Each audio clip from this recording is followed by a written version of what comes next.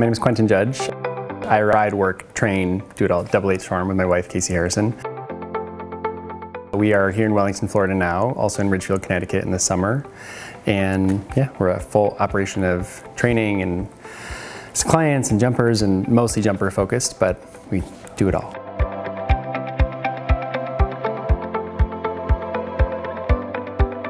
It's a game of inches doing show jumping, and I think putting a little too much pressure or not trusting the horse's front end, whatever you do, it can catch up with you and end with four faults. So we do gymnastics like crazy. I'm really serious about the horse's fitness and flat work.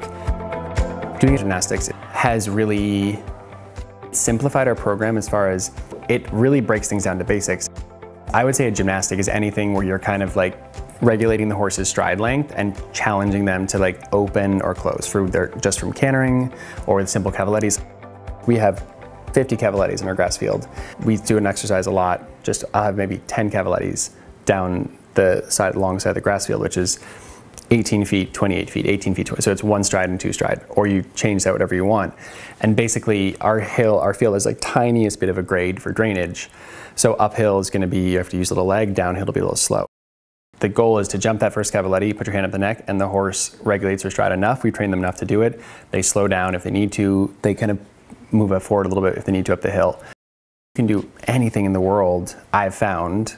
Anything problem a horse has and any kind of anything in the ring, it'll show itself in a gymnastic and you can work on it. We jumped to gymnastic with our student Haley today. So Haley Banis stay with her horse Farrah Flies. She's a really nice eight-year-old mare that has stepped up into the highs, meter 40, meter 45 in the last month. She came here starting 130 and really, she'd done the mediums and wanted to move up.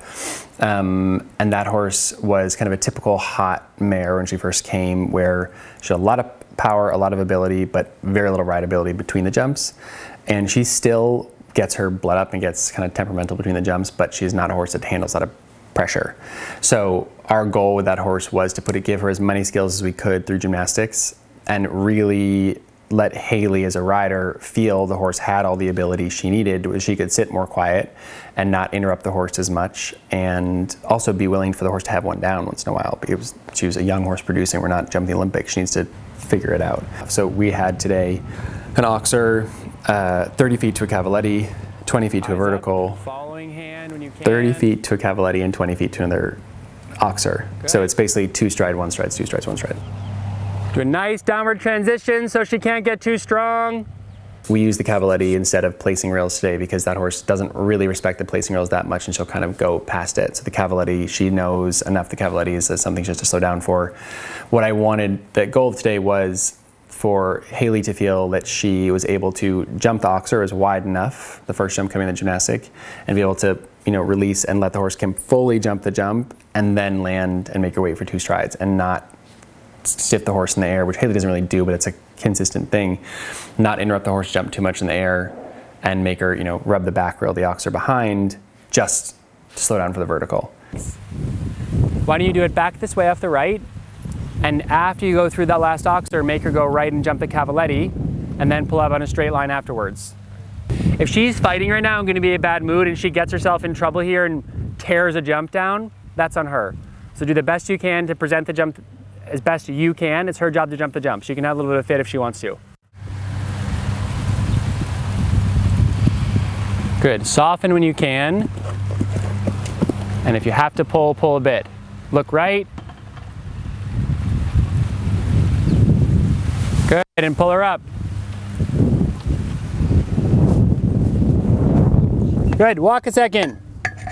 The, the first jump that she touched when you were thinking about turning right and twisting a little bit, and she said what you did, front rail behind, right? Which maybe that's you putting a little pressure or a little twist or turning her a bit in the air. But if that's a little bit her default that something's not right, you just gotta know you have to, she has plenty, plenty, plenty of scope. When you're, even if you're jumping this that much bigger, sit still, especially today. If she puts her front toe on the back rail, like who cares? Trust the scope a little bit more. Let me just change this a little and let her blood come down, just pat her. We'll go back at it. So those cross rails are gonna kind of act like V rails for her, just keep her straight and keep the form a little bit better. Let's keep doing the same thing. You'll canter to the gymnastic, skipping the first cavaletti, but finish with the cavaletti on the backside. pull her up straight.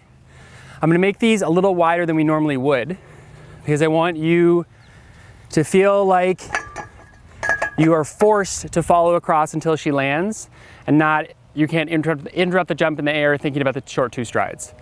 So slightly, slightly more rhythm than you had coming to it the last time. But then when she's there, if she's deep, long, or perfect, you hold your positions, her job, jump, jump, jump to jump the jump. Especially today, we're just working on form and making her think about herself a little bit more. You know, don't hang her out to dry, but it's her job to jump these jumps, not yours. Fingers closed and the reins a bit better. If your reins get long and you land, you're here for the cavaletti. Use your eye, but try not to twist in the air. Straight, straight, fingers closed, position, all that. And let her jump the jump.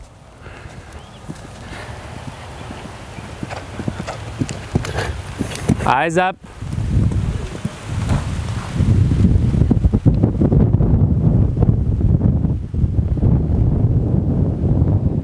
Good, pull her up straight and pat her. So gymnastic was great, just on the backside, she's still too strong, right? Obviously. Once more, same thing. If you can, use that cavaletti as a pull-up also. Jump your oxer from the back row of the oxer first and go to the cavalettis if you're going to it and then make her pull up before it. If she's really strong in roots, back up a step, then soften and pattern come again.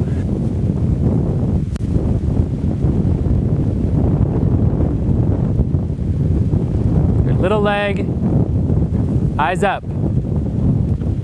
Make her weight with your shoulders. Good. Good. That's good. Now just manage your stride. Whoa. Straight. Right leg, right leg. Good. Now make her work it out. She's just fine. Balancing two with your leg around her. Look dead straight. Good. Great. Very good. I think that's, I think that's enough. That's very, very good. She is, and that's she now knowing her as well as we do. She has plenty of scope, especially what we're asking her to jump right now. She could walk those oxers. So I think you got more than anything. You have to take out of your mind. She's a young horse. You're producing. She's still young, but you're not. She's not a baby anymore. Trust the front end. Trust the scope. If she has one down, that's nothing in the world. You're still producing her. Because that looks great. That's that's and I wanted the hard to feel the horse could do that. I put little V rails in the jump so the horse had, had to stay really straight and work on her form as well. And that horse can lean a little bit into the inside, so we use the cavaletti at the top of the ring to kind of make her land, listen her inside leg, and kind of just not jump the gymnastic and then run off on the backside. So I think it was very good. It, and that horse took maybe you know eight or ten times the through the gymnastic, and she was done. She's going to jump the highs, you know, Friday and Sunday this week. I think she's plenty ready to go and it was a good little school for that horse. And with things like that, we can tailor it specifically to the horse. If she falls into the inside, I put her a little rail on the inside of the standard so she can't fall in. If she does, she knocks it down. It's a light rail, but she's careful enough she'll come back and stay straight the next time. So It's just kind of a way to quickly like put the horse and rider back together. The guidelines for trying gymnastics and getting into it at home, and I am should say I'm not like the guru on gymnastics. It's just a tool that we use a lot. Is start small, make it really simple. And at the end of the day, the goal that I have in gymnastics is do something the horse can be successful at. I'm not trying to trap the horse or the rider, make it so hard they cannot do it because all the horse learns to lose confidence at that point. I set something, and as horses get better, you can make it quite challenging. The end goal always has to be success.